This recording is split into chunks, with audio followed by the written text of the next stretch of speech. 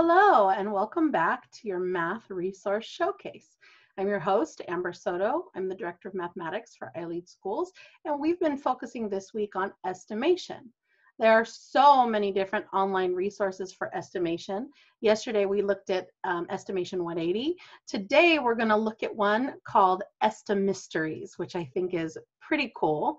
Um, it's on a page called Steve Wyborney, W-Y-B-O-R-N-E-Y dot com. Uh, he's a guy that writes a lot of blogs and he has some amazing resources for math. And we're going to look at some of these other ones as well. But right now we're talking specifically about estimation. So I wanted to introduce you to Estimysteries. So right here, estimation meets math mysteries is Estimysteries. So I'm going to click on that. Okay, so here we have here, estimation mysteries, estimation meets math mysteries. And we're gonna come down, there's 51 of them that he has downloaded. So we're gonna come down and find day one, estimystery number one, the first mystery. Okay, it opens it up as a PowerPoint. So we're gonna download it here and we're gonna open it up.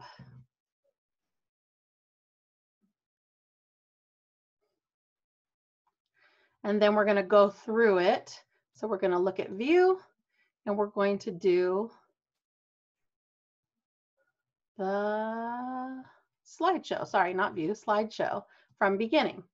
Okay, so if we just click through this, you'll see we have Estimysteries, estimation meets math mysteries. This is number one.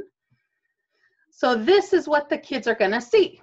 This jar filled with these little gummy things. Super colorful, aren't they? So if you look at that, what would be your estimation? What do you think, uh, how many of those gummy things do you think are inside that jar? And once kids have their response, as the clues appear, use the information to narrow the possibilities to a smaller set. Then use estimation to determine which of the remaining answers is the most reasonable. So kids get their initial estimation and then we give them clues. So here we go. Clue number one, the answer is a number less than 50. So you can allow your learners to adjust if, or your kids to adjust. If they had a number that was greater than 50, they can bring it down to try to guess a new number. Clue number two, the answer is an odd number. So again, they can adjust their estimation. Clue number three, the answer is a multiple of three. So for example, three, six, nine, 12, and on and on and on. Clue number four, the answer includes two different digits. And clue number five, neither of the digits is a two or a four. By combining the clues and estimation, you now have enough information to determine the answer. What do you think the answer is? For this particular one, we're gonna click to see it because this was my demo. It is 39 objects. All right, so that was estimation mysteries number one. Let's look at, can I close this? Yes, close that. Now let's look at day two. This is the one I will pose to you. So this is estimystery number two.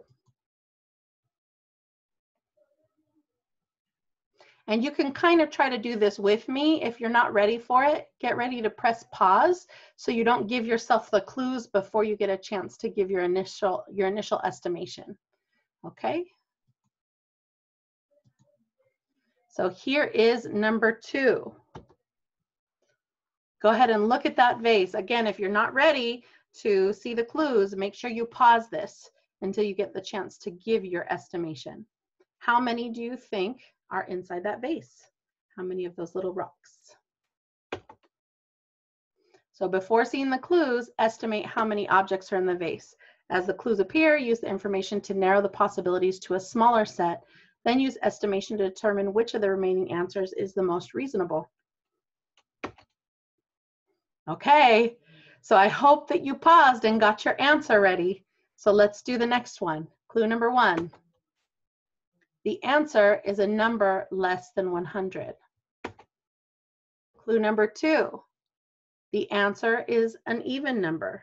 And I just realized I should be giving you time in between the clues to adjust your numbers. So if you want to pause in between again to adjust each number, feel free to do so. Uh, if I were in a classroom setting, I might give these clues throughout the day and then give the answer at the end of the day. So kids have to retain the information and kind of guess throughout the day. Clue number three, the answer is not a multiple of 10.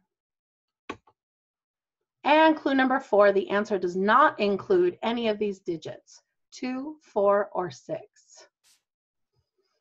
Okay, do you think you have enough information to come up with the answer? I'm gonna leave this one open for you and I'll give the solution tomorrow morning. So go ahead and post in the comments what you think the response is.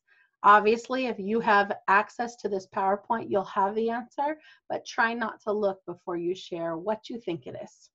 Okay? Uh, I hope that this generates a lot of math conversation. I hope that you have fun with this, and I hope that this creates some connections where you can really talk about some of that mathematical learning.